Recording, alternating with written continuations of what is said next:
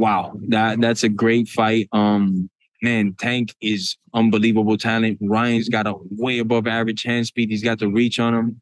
Um, conventional wisdom, obviously, I'm leaning towards Tank. I just, I just think, especially as the rounds go on more, he just becomes more and more of a synchronized killer. You know, where he's not gonna miss and he's not getting hit.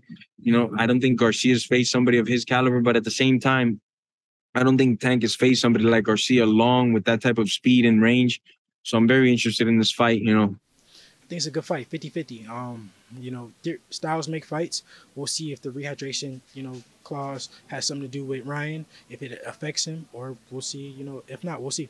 I love, I love this fight happening. The reason that Ryan is so confident that he can knock him out is because sometimes when it takes Tank a little bit of time to get close to these dudes, and trying to get close to him, sometimes he gets touched. Santa Cruz touched him a little bit. Barrios was touching him a little bit, and I think Ryan feels like you're gonna have to get close to me, you know. And Ryan always catching people on the way in with that that left hook. I think he's banking on catching them on the way in, which is possible. That's like my worry for Tank in the fight. My biggest worry for Ryan is that Tank is gonna get to him first. Tank is like twitchy and quick and fast, and you know he be moving around and like that. The way he knocked out Rolly was like this dude was moving to his right, off the ropes, out the way, and just boom, like stopped him off that one shot. I think it's a close fight, and I can see Tank eventually getting to him, but he might, he just might have to get up to do it. There's enough power in the ring that if somebody just get touched with something decent, that could really get the party started. I'll tell everybody uh, if you don't know how to use it, um, height don't fight. It's just a distance from the feet to the top of your head. Um, Tank is very smart, and because he's a smaller man doesn't mean it's a disadvantage. You know what I mean? Um, I got it planned out pretty much like Floyd and, and Corrales, you know, Tank being Floyd. Uh, we're going to get him out of there um, six or seventh round. All right. I don't, think, I don't think Ryan can take the infliction.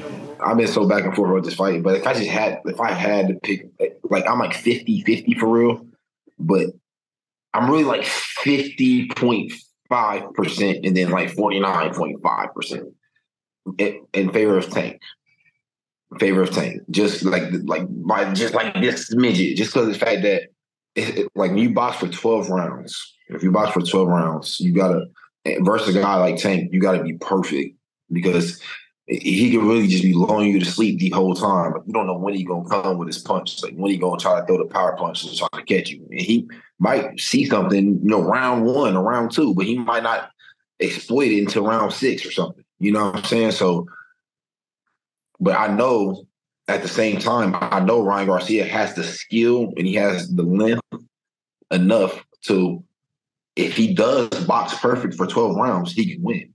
Like, and I know he's able to do that. He has the skill to do it. I get the slight edge to Tank just because, like, I feel like Ryan might one time just, you know, step out with his hands too low or something, or get too aggressive, you know, and Tank catching a, like how he did Rolly or something. So, like, I don't know. I, I get the slightest edge to Tank, the slightest edge. I think Tank has a slight edge, but with that fight, whoever lands first will win. It's a tough one. It's a 50 50 fight. Um, I will be tuning in. You say the, the first one lands one. Do you think there's going to be multiple knockdowns? Do you think this might be just a one hitter quitter from one side or the other? I really don't see there being multiple knockdowns. They both have power enough where it will be a one hitter quitter no matter who lands. that's I mean that's why people want to watch it because it's one of those fights. Um, honestly, I got a 50-50.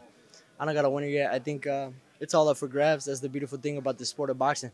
You know, one shot can end it all. You can win the whole fight, like the whole uh, like the fight that happened with uh, Fundora, and uh, and uh, that other guy, but Mendoza. You know, my point exactly. Him going in there, being the B side, and uh, one shot was all it took. I've been I've been flip flopping on this fight in my mind uh, for a long time. My head and my heart are, are, are, at, at ends right now in terms of who I think is going to win. My head is going with Gervonta, which I think most people in the boxing community are. Um, but my heart's with Ryan. I, I, I, can see Ryan getting him, especially early on, because the, the, the, power of Ryan's shocking. It's the speed, and it's the, the you, you, never felt a shot like that. You never know you can take it until you take it, um, or you don't. So but my final pick will be Gervonta Davis, late There's so many variables to this fight that I really don't know what's going to happen. We've never seen Gervonta hit by somebody like Ryan Garcia. We've never been. We've never seen Ryan get hit by somebody like Tank Davis. We've never seen them have to dig deep and do something different. Like when Tank hurt his hand against Eastside Cruz, we saw him have to box, but he wasn't really threatening that fight. Ryan's a threat, but as of right now, I feel like Tank's boxing is a little underrated, and I get concerned when Ryan throws that check left hook because he drops his right hand a lot. He holds his chin high, which also Gervonta got to jump to hit him, but it is what it is. He fought Mario Barrios and knocked him out. So as of today, I'm going to say Gervonta by stoppage.